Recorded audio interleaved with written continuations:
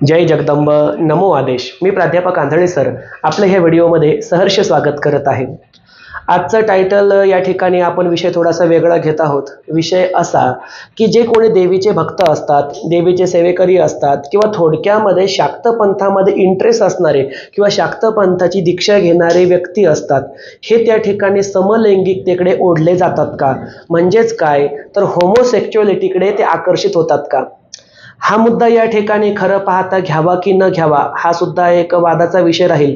कारण आत्तापर्यंत आपल्या जगदंबा देवी संस्थान देऊळगाव राजा ह्या यूट्यूब चॅनलवरती आपण धार्मिक विषयाला हात घातला काही धार्मिक समस्यांना हात घातला काही धार्मिक वादाच्या विषयांचा सुद्धा उहापोह केला.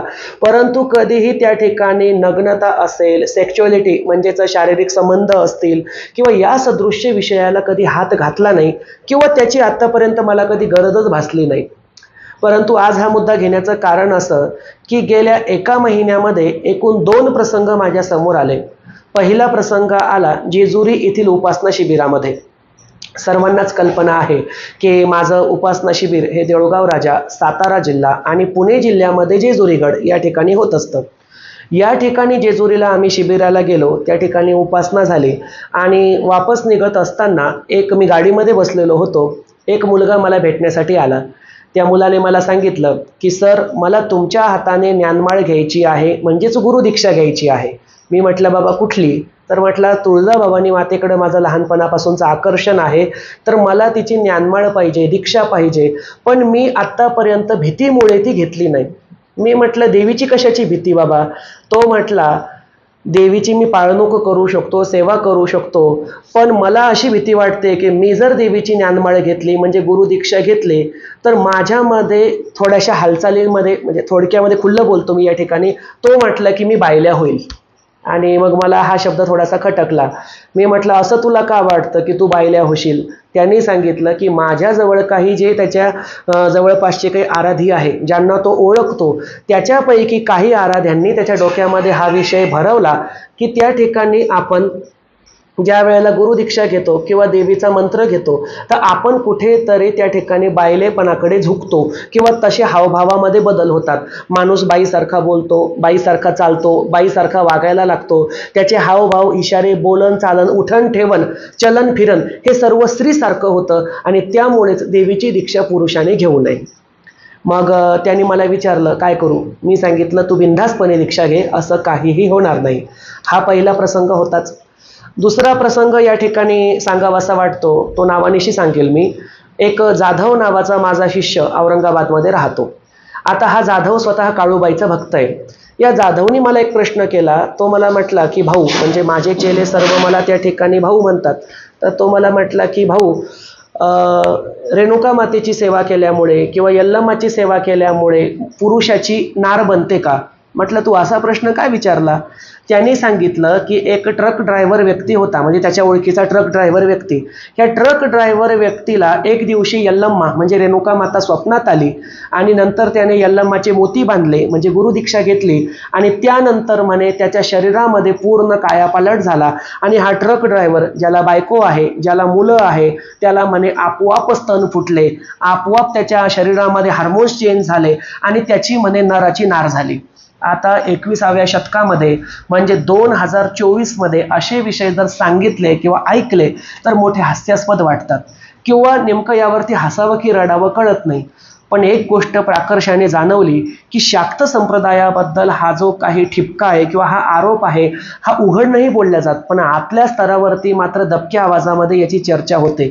आणि म्हणूनच कुठेतरी या आरोपाचं खंडन यासोबतच शाक्त संप्रदायामध्ये खरोखर समलैंगिकता आहे का या विषयाला आज मी अगदी खुलेपणाने सर्व प्रश्नांची उत्तरही देणार आहे चर्चासुद्धा करणार आहे.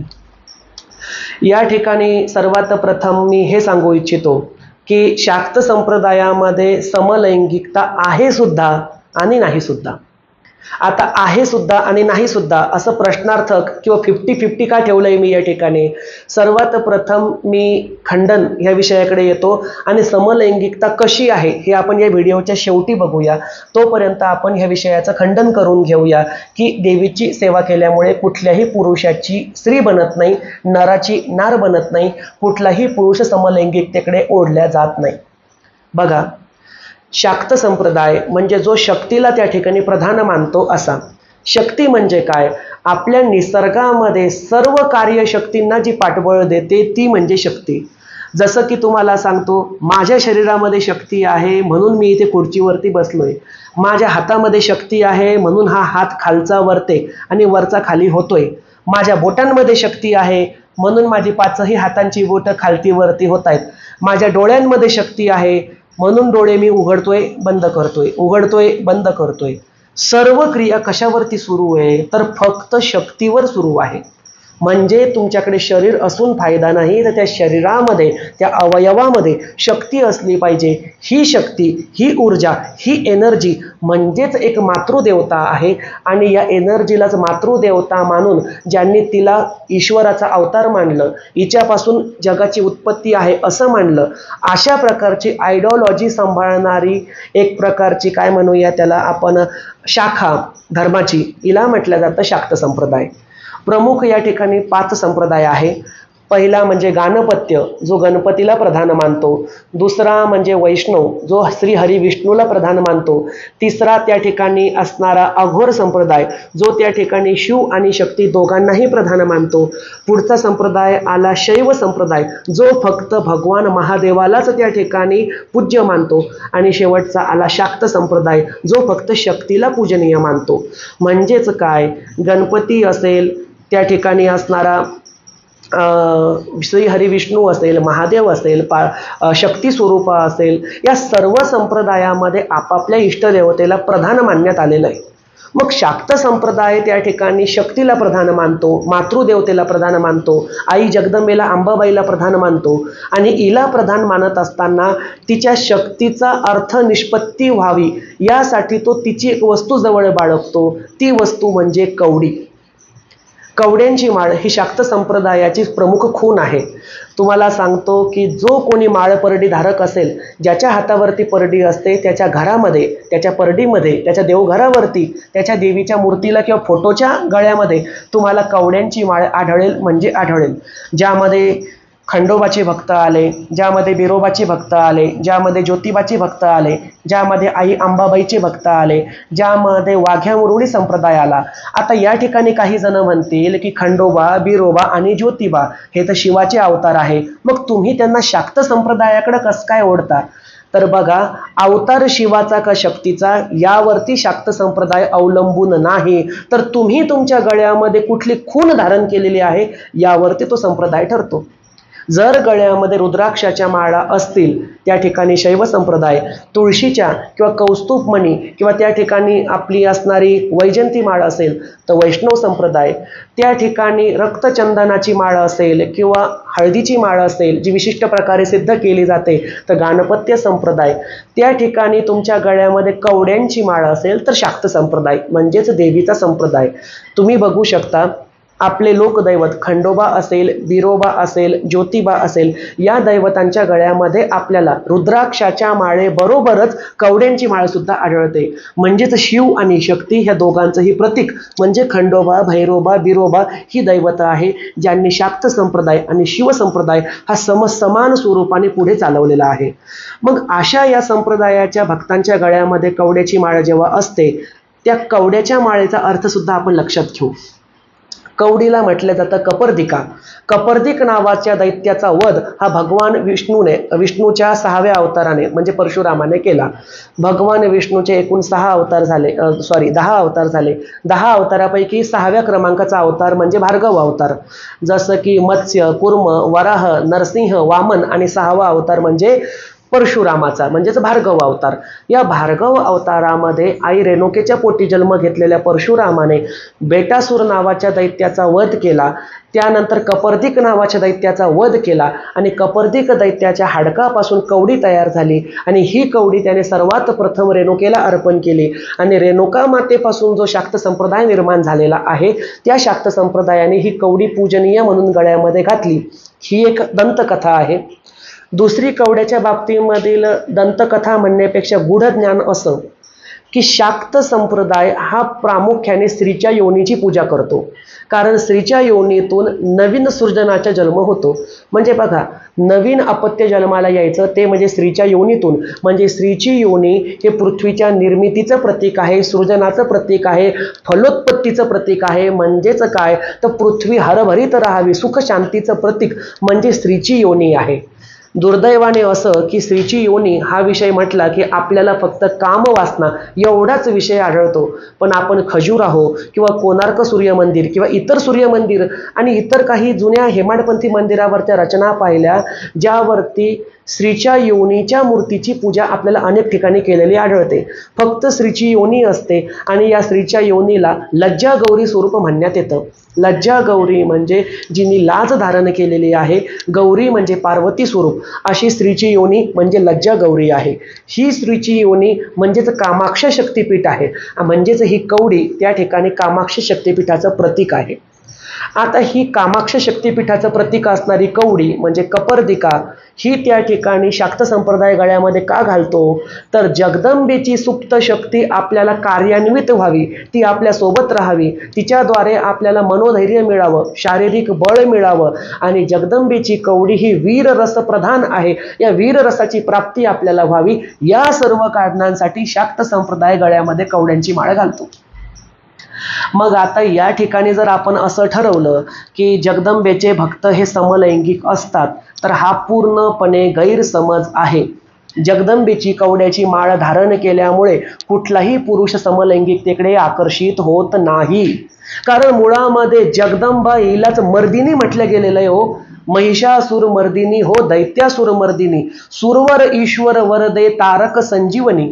म्हणजे हे महिषासुराचं मर्दन करणाऱ्या मर्दिनी दैत्याचं मर्दन करणाऱ्या मर्दिनी सूर वर ईश्वर म्हणजे सर्व प्रकारच्या स्वर्ग मृत्यू पाताळ यांच्यामध्ये निवास करणाऱ्या देवलोक मनुष्य लोक आणि दैत्य लोक या तिघांनाही तारून नेणारी तू तारक संजीवनी आहेस. म्हणजेच त्यांच्यामध्ये प्राण फुंकणारी चेतना आहेस. एवढा प्रगाढ अर्थ आपल्याला नरहरी महाराजांच्या दुर्गे दुर्गट भारी या आरतीमध्ये दिसतो.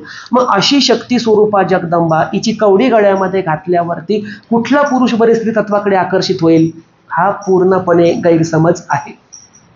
दुसरा विषय या ठिकाणी मला सांगावासा वाटतो की ठीक आहे आपण असं मान्य करूया. जे म्हणतात ना किंवा देवीची कवड्याची माळ घातल्यामुळे देवीचा गुरुमंत्र घेतल्यामुळे देवीची सेवा केल्यामुळे किंवा देवीची साधना केल्यामुळे पुरुष स्त्री तत्वाकडे ढकलला जातो. मग इतर अनेक धर्मांमध्ये समलैंगिकतेचं प्रमाण बऱ्याच प्रमाणावरती आढळतं. जसं की तुम्हाला सांगतो पद्मावती नावाचा एक चित्रपट आला होता. त्या चित्रपटामध्ये काही समलैंगिकतेचे दृश्य दाखवलेले आहे. जे दृश्य दाखवले ते तर देवीच्या संप्रदायाचे नाहीतच. मी कुठल्याही संप्रदायाचं नाव या ठिकाणी घेणार नाही. दुसरा एक चित्रपट मी आत्ता नेटफ्लिक्सवरती एक मालिका बघितली. तिचं नाव आहे वेब सिरीजचं हिरामंडी त्या हिरामंडी वेब सिरीजमध्ये सुद्धा एक इंग्रज अधिकारी आणि एक त्या ठिकाणचा असणारा नाचणारा उस्ताद या दोघांच्या मध्ये समलैंगिक शारीरिक संबंध दाखवले. त्यांचाही कुठे शाक्त संप्रदायाशी संबंध नाही. याबरोबरच भारत सोडून इतर अनेक देशांमध्ये आज समलैंगिकता पाय रोवून बसलेली आहे. तिकडे पुरुषा पुरुषांची लग्न होतात त्यांना गे कपल म्हटलं जातं. महिला महिलांची लग्न होतात त्यांना लेस्बियन कपल म्हटलं जातं. काही अंशी हे लोन सध्या भारतामध्ये सुद्धा पसरलेलं आहे. भारतामध्ये सुद्धा अनेक ठिकाणी आता पुरुषा पुरुषांची लिव्ह अँड रिलेशनशिप चालू आहे. महिला महिलांची लिव्ह अँड रिलेशनशिप चालू आहे. आणि ज्याला हल्ली आता कायद्याने मान्यता मिळालेली आहे. म्हणजे मी काही इथे समर्थन करत नाहीये पण सांगायचा उद्देश हा हे जे काही सर्व लोक त्या समलैंगिकतेकडे वळालेले आहे यांनी कधीही देवीचे मंदिरं बघितलेली नसतात देवीचा मंत्र घेतलेला नसतो देवीची साधना केलेली नसते आणि यांच्या गळ्यामध्ये कवड्याची माळ नसते. त्यामुळे समलैंगिकता हा तुमच्या विचारावरती आचारावरती आणि शरीरामध्ये बदल होणाऱ्या हार्मोन्सवरती अवलंबलेला विषय आहे. त्याला उगाच देवीवरती आणून शाक्त संप्रदायावरती आणून पंथाला बदनाम करू नये अशी मी सर्व आराधी भक्तांना देवीच्या भक्तांना हात जोडून विनंती करतो. दुसरा विषय मला या ठिकाणी एक बोलावासा वाटतो. तो असा पूर्ण विराम देतो. आता मूळ मुद्द्याकडे येऊया. मी आता या ठिकाणी हे स्पष्ट केलं की कोणीही शाक्त संप्रदायी साधक हा स्त्रीतत्वाकडे आकर्षित होत नाही. त्याच्यामध्ये बदल होत नाही. ते आपल्या मनावरती असतात. आता मी म्हटलो होतो की काही प्रमाणामध्ये समलैंगिकता आहे सुद्धा. ती कशी? हे मी या ठिकाणी स्पष्ट करतो. बघा मला माझ्या परमपूज्य गुरु सुभाषचंद्र सरस्वती महाराज यांनी हा विषय समजावून सांगितला होता. काही विषय परमपूज्य गुरु परशुराम नाना यांनी सुद्धा समजावून सांगितले होते. ते असे. तुम्ही ज्या वेळेला अघोरी संप्रदायातर्फे किंवा शाक्त संप्रदायामधून किंवा तांत्रिक विधींमधून एखादी सिद्धी प्राप्त करण्याचा प्रयत्न करता मग ती मारण सिद्धी असो विद्वेषण सिद्धी असो उच्चाटन सिद्धी असो मोहन सिद्धी असो वशीकरण असो स्तंभन सिद्धी असो षटकर्मापैकी जेव्हा तुम्ही एखादी क्लिष्ट साधना करायला जाता तर त्या ठिकाणी तुम्हाला काही संसारिक नियमांचं पालन करावं लागतं. जसं या ठिकाणी जास्त अवघड न सांगता मी सोप्या भाषेमध्ये तुम्हाला सांगतो. आपल्या दशमहाविद्या आहे. दशमहाविद्येपैकी पहिली महाविद्या म्हणजे महाकाली. दुसरी महाविद्या म्हणजे भगवती नील सरस्वती तारा. तिचं नाव फक्त तारा आहे परंतु ती नील सरस्वती म्हणजे हजार सरस्वती जर एकत्र आल्या तर जेवढं ज्ञान तयार होईल तेवढं ज्ञान एकटं तारा मातेकडे आहे. म्हणून तारा मातेला नील सरस्वती म्हटल्या गेलं. अशी ही तारा देवी ही दशमहाविद्येपैकी दुसऱ्या स्थानावरती येते. या तारादेवीची साधना करताना तुम्हाला पंचमकाराचं पालन करावंच लागतं. हे पंचमकार कुठले? हे पंचमकार म्हणजे तुम्हाला त्या ठिकाणी मत्स्य म्हणजे मासा मांस म्हणजे कोंबडी किंवा बकऱ्याचं मटण मैथून म्हणजेच शारीरिक संबंध म्हणजेच सेक्स त्या ठिकाणी मदिरा म्हणजेच त्या ठिकाणी असणारी दारू ह्या गोष्टींची पूजेमध्ये आहुतीही द्यावी लागते. काही गोष्टी स्वतः कराव्यासुद्धा लागतात. मग असे हे पंचमकार त्या ठिकाणी सिद्ध करत असताना त्यामध्ये बऱ्याच वेळेला काही ब्रह्मचारी व्यक्तीसुद्धा साधना करत असतात. आता जसं सांगायचं म्हणजे बघा अघोरी संप्रदायाबद्दल म्हटलं जातं की जे नागा साधू असतात जे अघोरी लोक असतात हे अघोरी लोक म्हणे मेलेल्या प्रेताच्या बरोबर शारीरिक संबंध बनवतात. म्हणजे मेलेल्या प्रेताला उकरून काढतात त्याच्यासोबत संबंध बनवतात. का करतात ते असं? त्यांची वासना शांत झाली नाही का?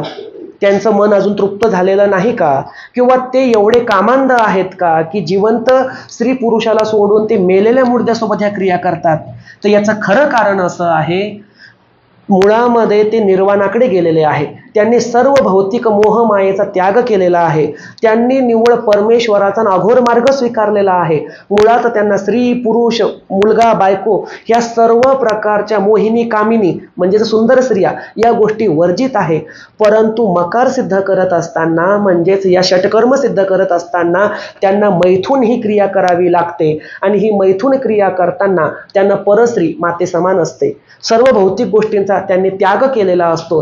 त्यामुळे ते प्रेताच्या सोबत त्या ठिकाणी संबंध बनवतात. आता हे चुकीचं की बरोबर? हा वादाचा विषय ठरेल. आणि मी ह्या प्रकाराचा पूर्णपणे निषेध करतो. मृत पावलेल्या व्यक्तीच्या शरीरासोबत संबंध करणे हे क्रूर कर्मच आहे. मी समर्थन करत नाहीये. फक्त त्यामागे अघोरी लोकांची मानसिकता काय असते ती समजावून सांगतोय. मग जिवंत व्यक्तीसोबत करणं पाप आहे. म्हणून ते मृत व्यक्तीच्या शरीरासोबत संबंध करतात. म्हणजेच काय? त्यांना साधनेमध्ये जी अट आहे ती अट ते पूर्ण करतात. असंच काहीसं शाक्त संप्रदायामध्ये सुद्धा आहे. शाक्त संप्रदायामध्ये बऱ्याच वेळेला समोरचा साधना करणारा व्यक्ती हा जोगती असतो किंवा त्या ठिकाणी बालब्रह्मचारी असतो किंवा त्या ठिकाणी संन्याशी असतो. आता यांना ह्या विद्या सिद्ध करत असताना स्त्री पुरुष ही सर्व नाती वर्जित असतात. कारण यांनी स्वतः त्या ठिकाणी निर्वाणीचा पवित्रा घेतलेला आहे. सर्व गोष्टींपासून हे दूर गेलेले आहे. पण यांना सिद्धीसुद्धा प्राप्त करायची आहे. मंत्रही सिद्ध करायचे आहे. अघोरी साधनाही पूर्ण करायच्या आहे. आणि त्यासाठी मकार स्वरूपी यांना शारीरिक संबंधसुद्धा बनवावे लागतात. आता शाक्त संप्रदायामध्ये असं आहे गळ्यामध्ये जेव्हा तुम्ही कवड्याची माळ घालता म्हणजेच तुम्ही गळ्यामध्ये स्त्रीची योनी घालता. त्यामुळे स्वतःची पत्नी वगळता जगातील प्रत्येक लहान मोठी वृद्ध स्त्री तुम्हाला आई अंबाबाईचं स्वरूप आहे हे मानावंच लागतं. ही शाक्त संप्रदायाची प्रमुख धारा आहे. शाक्त संप्रदायामध्ये व्याभिचार चालत नाही. हल्ली जे काही कोणी करत असतील यांना बुटाने बडवलं पाहिजे त्या विषयाबद्दल मी बोलत नाही. पण खरी आयडिओलॉजी अशी की स्वतःची पत्नी सोडता जिला जिला योनी आहे. मग ती एका वर्षाच्या लहान कन्येपासून ते सत्तर वर्षाच्या वृद्ध महिलेपर्यंत या सर्व योनीबद्ध स्त्रिया ह्या अंबाबाईचं स्वरूप आहे. कामाक्षा देवीचं स्वरूप आहे. त्यामुळे आम्ही यांच्यासोबत संबंध बनवणार नाही. या आम्हाला माते समान आहे. या वृत्तीमुळे शाक्त संप्रदायामध्ये काही प्रमाणामध्ये समलैंगिकता चालते. तिचं कारण काय? मंत्रसिद्ध करायचे असतात. स्त्री तुम्हाला वर्जित असते कारण तुम्ही स्त्रीला आई मानता तुम्ही बाळब्रह्मचारी असता. स्त्रीसोबत संबंध केल्यास तुमचं ब्रह्मचर्य व्रत संन्याशी व्रत भग्न होऊ शकतं. अशा वेळेला जवळचा एखादा शिष्य असेल गुरुचा किंवा एखादा गुरुबंधू असेल किंवा तुमच्या ओळखीचा कोणी एखादा पुरुष असेल अशा पुरुषाला या सर्व गोष्टी समजावून सांगितल्या जातात आणि त्याची पूर्ण परवानगी घेऊन साधना काळापुरते त्या पुरुषासोबत पुरुषाचे संबंध बनतात. ज्या काही सती साध्वी माताजी आहे ज्या अघोरी पंथामधून आहे शाक्त संप्रदायामधून आणि अघोरी पंथामधून मी शिव पंथ आणि वैष्णव पंथाबद्दल अजिबात बोलणार नाही. परंतु अघोरी पंथामधून ज्या नागा साधू असतात किंवा साध्वी माताजी असतात यांना सुद्धा त्या ठिकाणी हे मकार सिद्ध करताना पुरुष त्यांना वर्जित असतो. कारण पुरुष हा त्या ठिकाणी शिवाचं स्वरूप आहे असं त्या मानतात. मग त्या स्वतःचीच एखादी शिष्य महिला किंवा स्वतःचीच एखादी बहीण किंवा स्वतःची एखादी ओळखीची त्यांची जी कोणी रिलेटिव्ह असेल तिला विश्वासामध्ये घेऊन तिला समजावून सांगतात की आम्हाला एवढ्या काळापुरती ही साधना करायची आहे. शारीरिक संबंध बनवल्याशिवाय मला हे मकार सिद्ध होणार नाहीत. आणि हे मकार सिद्ध होण्यासाठी होण्यासाठी षटकर्म सिद्ध होण्यासाठी आम्हाला तुम्ही काही काळापुरती संबंध बनवण्याची परवानगी द्या. पण हा प्रकार अगदी झिरो पॉईंट झिरो वन टक्के ह्या प्रमाणामध्ये चालतो. म्हणजे सर्वच शाक्त संप्रदायी याला फॉलो करत नाही. कारण मी माझं उदाहरण देतो. मी विवाहित पुरुष आहे. मला पत्नी आहे. मला जे काही मकार सिद्ध करायचे ज्या काही सिद्धी पूर्ण करायच्या मला संसार करण्यासाठी क्रिया करण्यासाठी देवानी परमेश्वराने जोडी दिलेली आहे. तसेच या ठिकाणी नव्याण्णव टक्के लोक हे विवाहित असतात. त्यामुळे ते समलैंगिकतेकडे वळतील किंवा झुकतील किंवा जातील याचा विषयच येत नाही. जे मुळातच बायले आहे ज्यांच्यामध्ये मुळातच तो गुणधर्म आहे आणि जे मुळातच सुरुवातीपासून समलैंगिक होते आणि नंतर त्यांनी देवीची कवड्यांची माळ घेतली अशा लोकांच्या हातूनच अशा चुक्या घडतात. त्यामुळे पवित्र असणाऱ्या या शाक्त संप्रदायाला कोणीही बदनाम करू नये एवढीच या ठिकाणी विनंती करू इच्छितो. आणि आजचा व्हिडिओ कोणाला खटकला असल्यास तर हात जोडून माफी मागतो. परंतु माझ्या अंबाबाईच्या संप्रदायावरती हा समलैंगिकतेचा डाग मला त्या ठिकाणी सहन झाला नाही म्हणून हा व्हिडिओ बनवला. आणि भेटू या पुढच्या व्हिडिओमध्ये. तोपर्यंत सर्वांचं कल्याण असो. जय जगदंब. नमो आदेश.